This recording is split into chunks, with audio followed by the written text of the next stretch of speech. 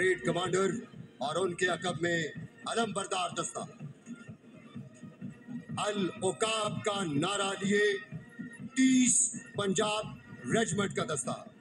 lieutenant colonel Mohammad Tariq Kalwad इस दस्ते की क्यादत कर रहे हैं